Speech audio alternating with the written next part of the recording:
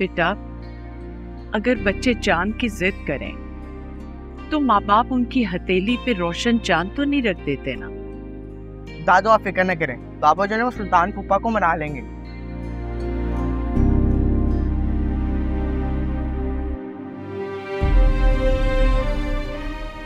ये लोग क्यों नहीं समझ रहे? मुझे असल परेशानी ये नहीं है।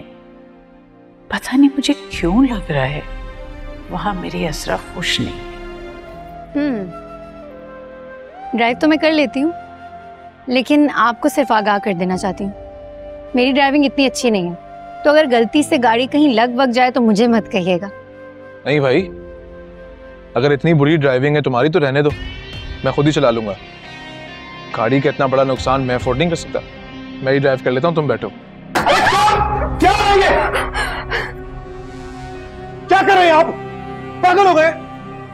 मजाल है जो इस घर में दो मिनट भी कोई सुकून के गुजार सके। आप लोगों की खुद की तो कोई इज़्ज़त है नहीं। कम अज कम मेरी इज़्ज़त का तो एहतराम करें। मेरे सुल्तान ये उछाल रही है मेरी इज़्ज़त। पूछे से गैर मर्दों से बात करती है बेशरम औरत गैर मर्द नहीं है वो मंसूर भाई है। वरना वरना क्या? क्या करेंगे आप? जो आपने इसकी बस।